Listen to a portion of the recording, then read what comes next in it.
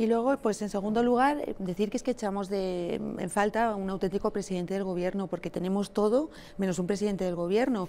Ahora, pues eh, la verdad es que se valora mucho más a presidentes como puede ser Felipe González o Aznar, de distintos signos políticos, porque lo que vemos es que falta una auténtica figura, un presidente del gobierno que lidere una oposición común eh, respecto a una dirección que hay que tomar en relación a un país con el que tenemos unos vínculos eh, directos y unos vínculos muy importantes como es Venezuela y que teníamos que haber estado en primera línea para liderar eh, el tema de la transición democrática de Venezuela.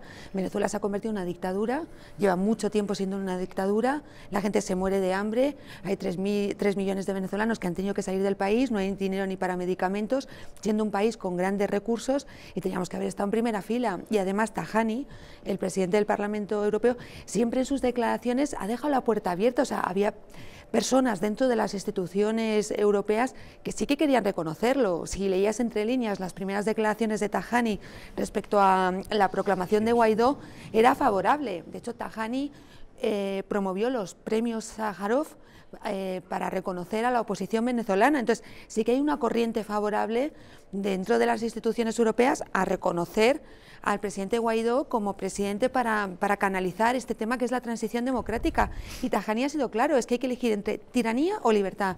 Y aquí estamos en una posición que es muy difícil. De hecho, Rusia amenaza con un conflicto armado y, y hay que hacerlo muy bien pero hay que ser firmes, o sea, tenemos que liderar el apoyo a, Guaidó, que Guaidó incluso esté una temporada en el gobierno, que se garantice y se firmen las amnistías que correspondan. Hay que asegurar también la seguridad de Guaidó, que yo creo que estamos todos pendientes de que el presidente Guaidó esté en condiciones y que no devuelva a secuestrar el SEBIN ni pase ningún acontecimiento, porque es un momento único para Venezuela para pasar a un régimen de auténtica libertad. ¿no?